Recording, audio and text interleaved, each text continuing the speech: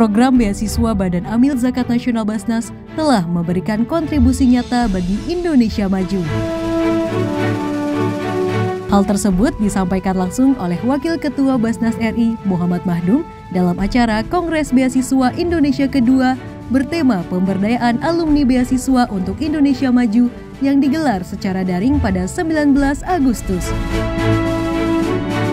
Ada kontribusi besar pengelola beasiswa untuk Indonesia Maju dan kami berikan contoh dari Basnas, sebuah lembaga filantropi yang yang kesannya hanya mengurus zakat infak Bapak Ibu semuanya yang mungkin hanya di 100 ribu, 200 ribu, 300 ribu. Tetapi kalau kita berkolaborasi bersama, uang yang 100 ribu, 200 ribu menjadi miliaran, menjadi triliunan, yang kita jika kita berikan program yang bagus bisa mengubah orang yang semula mentalnya tangan di bawah kemudian tangan di atas. Inilah salah satu contoh sukses story dari Basnas menjadikan mustahik menjadi seorang muzaki.